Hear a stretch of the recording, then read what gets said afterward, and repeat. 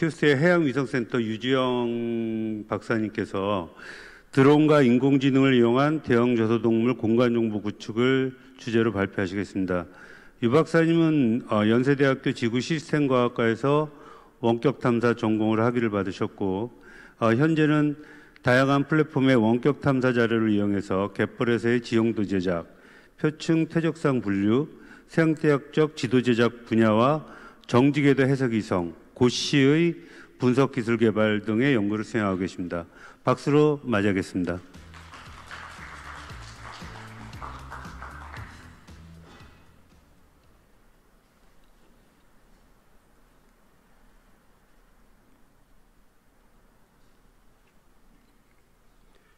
네, 안녕하세요. 해양위성센터 유주영입니다. 오늘 드릴 말씀은 일단 첫 페이지에서 청색 기술 의 의미를 오늘 배웠는데 그거부터 말씀을 드리겠습니다. 전통적으로 갯벌, 우리나라 갯벌에 대해서 연구를 키오스트 코르디에서는 30년 동안 연, 30년 이상 연구를 해왔고요.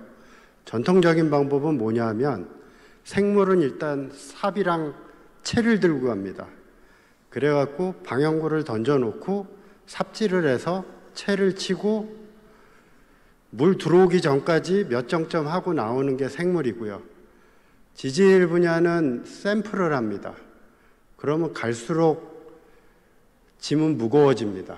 그러면 물 들어올 때쯤 되면 이제 배낭에 흙이 가득 차서 힘들게 힘들게 나오곤 하는데 어, 우리나라 말에 뻘진시란 게 있고 거기에 이제 뻘짓 거리까지 붙으면 뭐 쓸데없는 일 뭐 이런 의미인데 저희는 그걸 업으로 해왔습니다 여지까지. 그런 거를 해오다가 제가 생물하는 분이랑 저랑 걸으면서 이 갯벌에 있는 구멍을 보면 뭔지 알 수 있겠냐. 그리고 구멍과 그 주변에 그 생물이 먹고 뭐 배출한 섭식 흔적, 섭식 활동의 흔적을 보면 알 수 있겠냐 했더니 알 수 있겠다 그러고 저희가 맞춰보라고 그러고서 삽질해서 확인해 보면 맞고 거의 생물 하신 분들은 90% 이상 100% 가까이 맞추시더라고요. 이 구멍만 봐도 표층에서의 구멍만 봐도 거기서 이 사업이 시작하게 됐습니다. 그러면 제가 드론으로 사람이 보는 정도의 해상도로 찍어서 그걸 주면 그 자료를 학습시킬 수 있겠느냐? 할 수 있다고 그래서 이제 이 사업이 시작하게 됐습니다.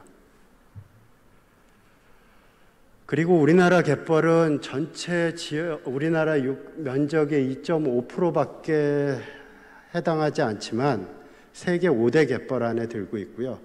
그 다음에 세계적으로 제일 큰 이슈라고 그럴까 우리나라 갯벌만의 특징은 자연 보호도 해야 되고 거기서 수산물도 채취해서 먹고 살아야 되는 경제 활동, 경제 활동과 자연 보호가 같이 이루어지는 거의 유일무이한 갯벌입니다. 물론 중국 쪽에서도 되, 긴 하지만 뭐 유럽이나 미국에서는 보호만 하고 있습니다.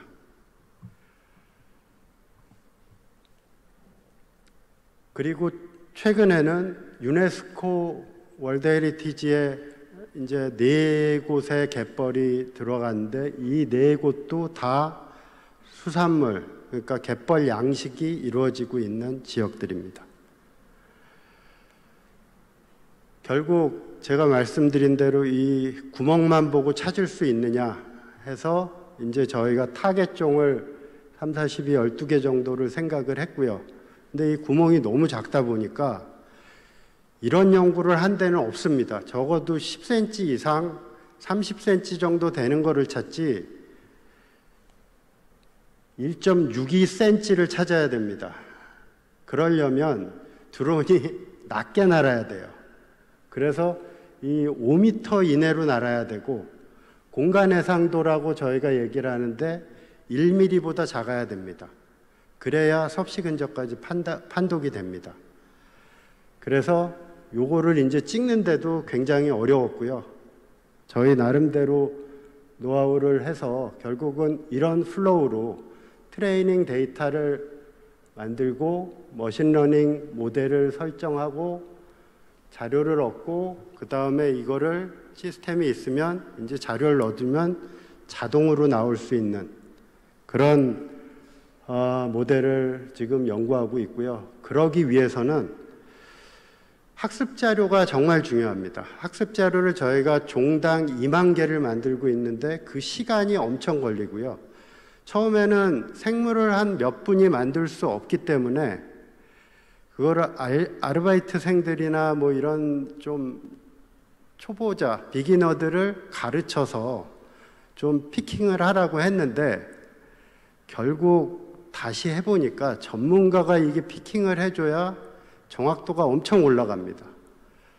그래서 지금 제가 생물 이 피킹하는 박사님한테는 루테인을 사줘야 되나 뭐 이런 생각 눈이 아파서 하루에 할 수 있는 게 한계가 있다고 그래갖고 근데 정확도가 10% 20% 이상 올라갑니다. 그래서 지금 그런 과정을 하고 있고요. 그러니까 이게 사실은 이 사업을 하려면 시간과 노력이 엄청나게 필요합니다. AI를 활용한다는 게 사실은 이런 단계가 다 이루어지고 나서 우리가 편하게 사용할 수 있는 것이다. 라는 것이죠. 그리고 싱글 클래스로 해보고 멀티 클래스로도 분류를 해봤는데 생각보다 잘 맞았고요. 지금 이런 것들을 계속 향상시켜 나가고 있습니다. 그러면 우리가 갯벌에서 이 구멍은 무슨 종이다, 저 구멍은 무슨 종이다, 이 개체수는 뭐다. 그렇게 하면 지금까지 생물을 했던 분들은 그러면 할 일이 없어지냐? 그게 아니라 AI를 이용해서 더 어드밴스드 연구를 할 수 있습니다. 최근에는 저희가 뭐까지 하냐면 각 종별로 이 농개나 이 흰발 농개 같은 건 앞발이 되게 큽니다. 수컷은 앞발이 크고 암컷은 작습니다. 그리고 이 수컷의 앞발 크기가 거의 그 생체량, 바이오매스를 결정하기 때문에 이것들의 크기를 보고 전체 바이오매스를 계산하는 연구도 하고 있고 그 다음에 얘네들이 굴을 옮겨 다닙니다. 그래서 지금 현재 사용하는 집인지 아니면 사용을 했는데 이제 사용 안 하는 집인지 이런 것까지도 지금 어, 하고 있고요. 암수 비율까지도 나올 것 같습니다. 잘하면. 결과적으로는 이런 그림이 이제 저희가 생각하는 결과도입니다. 그래서 어떤 종이 있고 그 종의 크기는 얼마고 이런 것들을 어, 모 전자회사 보면 CF에 이렇게 둘러넣어서 아무것도 하지 않아도 모든 게 이루어지는 세상인데 제가 꿈꾸는 세상은 삽질이나 현장 조사를 하지 않아도 갯벌을 모니터링할 수 있는 세상을 만드는 게 제 궁극적인 목적입니다. 근데 문제는 이렇게 미리 이하로 자료를 취득하면 자료량이 너무 많아집니다. 너무 큰 빅데이터가 되고 이것들을 처리하는데 또 시간이 오래 걸리기 때문에 제가 AI 반도체도 고민을 해봤고 그 설계하려면 또 돈도 많이 들고 한다 해야 된다 그러고 과연 우리가 이게 사람 사는 집도 아닌데 전수조사를 해야 될까? 라는, 아니, 8, 90%만 맞아도 모니터링, 갯벌을 모니터링 하는데 효율적이지 않을까? 라는 생각이 들어서 지금 추진하고 있는 건 이게 100m 정도에서 찍은 1cm의 갯벌 DEM입니다. 갯벌이라는 게 사실 0.1도, 0.01도 정도의 아주 완만한 지형인데 그 나름대로의 또 지형 경사가 있습니다. 보시면 어 잠시만요. 이게 황도고 한 2km 정도 되는 거리인데 이쪽은 높고 조류로가 굉장히 복잡합니다. 이 조류로가 약간 의학적에서 보면 이미지에서 보면 혈관 같은 느낌인데 사실 이 갯벌에서의 갯골은 혈관 같은 영, 어, 미션 역, 역할을 하거든요.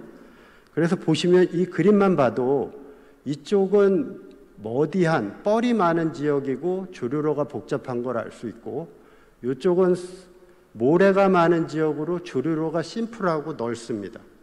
그러면 우리가 이것만 봐도 퇴적상이 뭘로 되어 있는지도 대충 알 수 있고 그다음 퇴적상이라는 게 모리나 모래랑 뻘이 얼마나 많이 들어 있냐라는 것이고요.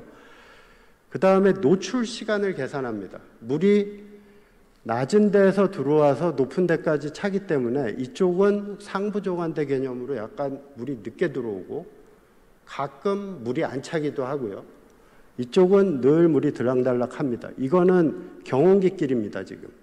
이게 경운기길이라 차량이 왔다 갔다 하는 그런 것입니다. 그래서 요 지형도 갯벌에서의 지형만 봐도 굉장히 많은 정보를 알 수 있다.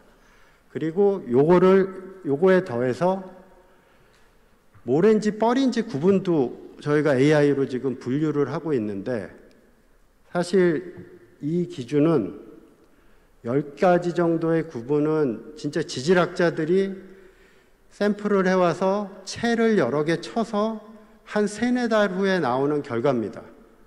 근데 드론에서 저걸 찍어서 저만큼 하기는 어려워요. 근데 여기서 몇 개만 묶어서 계산하면 75% 정도는 될 것 같습니다. 그러니까 아까 보, 말씀드린 대로 이쪽은 머디한 데가 많고 이쪽은 샌디한 데가 많고 뭐 그런 영향이 있다라는 것을 알 수 있고 앞에서 보셨듯이 지형 정보가 나오고 다시 뻘에 모래 모래인지 뻘인지를 알면 그거는 생물 종이 어디에 사는지 생물들은 결국 생물들이 헤비트 자기가 살아가는 지역을 결정하는 게 갯벌에서는 노출 시간하고 모래벌의 퍼센트입니다. 그리고 염분. 요 세 가지 팩터가 주요 팩터기 때문에 요 세 가지 팩터를 저희가 도면을 만들고 이걸 이용해서 모델을 만드는 형식으로 80% 가까이만 맞춰도 이 갯벌을 전수조사하지 않아도 라인 한 두세 개만 연구 분석하고 그걸 이용해서 전체를 유추할 수 있, 지 않을까라는 생각에서 지금 한, 요 한 라인에 대해서 5m로 아주 고해상도로 찍고 여기서 지금 퇴적상 구조라든지 지형 정보라든지 이, 이게 여기서의 프로파일인데 조류로가 어떻게 생겼나 이런 것들을 지금 분석해서 모델을 만들고 있습니다. 요거는 그러니까 제가 원격 탐사를 하는데 원격 탐사의 아주 small scale 그러니까 현미경으로 보는 것처럼 1mm 미만의 공간 해상도를 하고 있고 사실 저희 해양위성센터에서는 3만 5천 킬로 상공에서 천리안 위성을 또 운영하고 있습니다. 그래서 5m부터 3만 6천 킬로까지 다양한 고도에서 자료를 찍고 그것들을 연안과 해양에 대해서 샅샅이 감시를 하면 이제 해양 감시 시스템이 되는 거고 거기에 선박을 탐지하면 영토 관련된 조사가 되는 거고 연안을 하면 연안 감시가 되는 거고 갯벌을 하면 갯벌 모니터링이 되는 거고 이런 전체 시스템을 만들어서 가는 게 앞으로 가야 될 방향이 아닌가. 그 많은 자료를 누가 분석할 거냐. 결국은 AI가 해야 될 것 같고요. 제가 최근에 그 천리안 위성으로 어, 리터러처 리뷰를 해봤더니 우리나라 천리안 위성이 2010년에 올라가서 지금까지 운영 중인데 15년 정도의 논문을 국내외 논문을 봤더니 약 500평 정도가 우리나라 위성을 이용해서 국내외적으로 논문이 나왔습니다. 그 중에서 2016년 정도 되면 전체 논문 편수의 30%가 AI를 이용하고요. 더 놀라운 건 22년 이후에는 퍼센트가 50%로 올라갑니다. 결국 위성을 이용한 영상 분석은 앞으로 계속 AI를 AI 없이는 분석이 어려운 지경으로 가지 않을까라는 게 생각이고 1mm 해상도부터 250m 해상도까지 사실 이 원격 탐사 자료의 원리는 똑같습니다. 파장 영역은 똑같아요. 그걸 어떻게 우리가 잘 융복합해서 보고 싶고 보고 싶은 거 봐야 될 거를 보느냐 하는 연구를 지속해야 될 것 같습니다. 네, 뭐 결론은 디스커션은 이렇고요. 저희가 이제 드론을 쓰면서 달라진 건 뭐냐면 옛날에는 삽하고 샘플백을 들고 나왔는데 이제는 차를 타고 드론 배터리만 갖고 가서 그 다음에 커피 드립하는 거 가져가서 드론이 찍는 동안 커피 드립해서 커피 먹고 드론이 오면 배터리만 갈아 끼면 되는 세상이 어느 정도 왔다고 보여집니다. 이제는 조금 더 연구하면 이제 완성도 높은 아무것도 하지 않아도 모니터링이 되는 그런 시스템을 만들 수 있을 것 같습니다. 이상입니다.